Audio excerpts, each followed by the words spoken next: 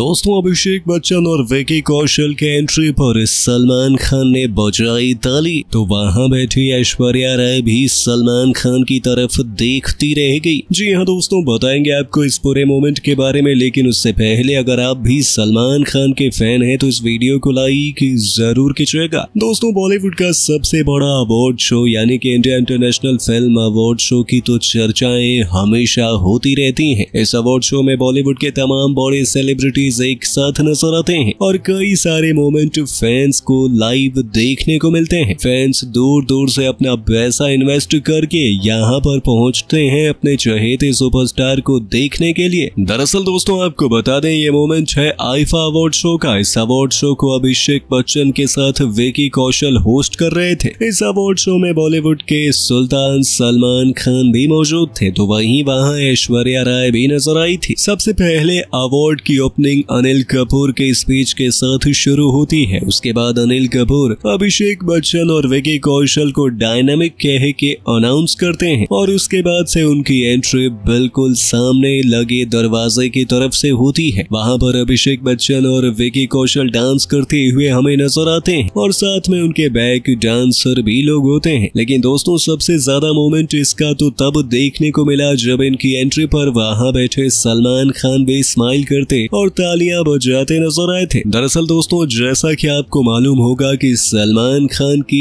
Ex girlfriend की शादी अभिषेक बच्चन से हुई है। वहीं उसके बाद उन्होंने कैटरीना कैफ को डेट करना शुरू किया। और एक टाइम ऐसा लग रहा था कि कैटरीना की शादी सलमान खान से होगी। लेकिन फिर कैटरीना ने भी विकी कौशल से शादी की। और इस अवार्ड शो को ये दोनों सुपरस्टार ही होस्ट कर रहे थे। इस पर सलमान खान से सभी लोग ऐसा एक्सपेक्ट कर रहे थे कि उनका रिएक्शन अच्छा नहीं होगा इनके प्रति। लेकिन सलमान खान ने बिल्कुल ऐसा नहीं दिखने दिया। सलमान खान बड़े ही जेंटल तरीके से इनके परफॉर्मेंस और एंट्री पर तालियाँ बजाते नज़र आते हैं। और इस मोमेंट पर तो वहाँ बैठी ऐश्वर्या राय भी सलमान खान की तरफ़ मुड़कर देखने के लिए मजबूर हो गई थी। वैसे दोस्तों, इस मोमेंट पर आप क्या कहना चाहेंगे? कमेंट में ज़रूर बताइए। और अभी तक हमारे चैनल को सब्सक्राइब नहीं किया है तो ज़रूर कर लें। धन्यवाद।